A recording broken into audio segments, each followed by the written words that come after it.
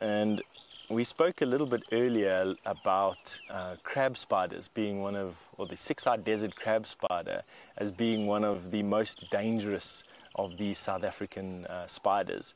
Well, I have a crab spider here, and very similar to those leopard that you were having a look at with Jamie, these crab spiders are ambush specialists. These spiders, and there she is over there, basically hang around flowers, and they can actually change their color to a degree to mimic the flower's background that they're on. This particular uh, uh, spider has chosen a light greenish color. And I think it's because she likes to hang around at the base of these flowers, these Waltheria flowers. And what she's looking for is to catch a pollinator. You can see that the four front legs are very, very much more well developed or much more muscled than the four back legs are. And that's because she uses those very robust front legs to grip flying prey and then to bite it.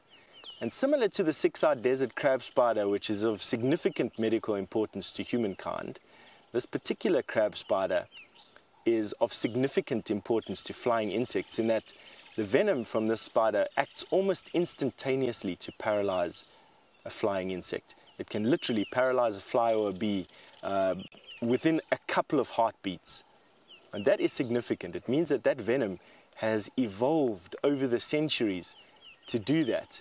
Now, why that is, is unlike a web-based or web-living spider, a web-based spider, the spider has to hold on to the prey with its front legs and therefore can be bitten or stabbed by a sting.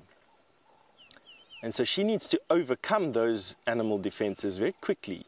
So she holds on to the flying prey, bites it, and that then almost instantaneously disables the flying prey. She then moves to the bottom side of the leaf and finishes off her meal. One of the most highly evolved spiders that we have out here is this crab spider and deadly to flying insects. Not so deadly to us, luckily, but deadly to flying insects. I'm going to put her back up here so that you can see how we saw her. I'm just going to let the plant go. That's how she's hanging around. Quite often what they'll do is they'll stick out their front legs and they'll hold them out in front of them, almost sort of like at a, if you were to hold your arms out to your sides and slightly forward. That's how they do it.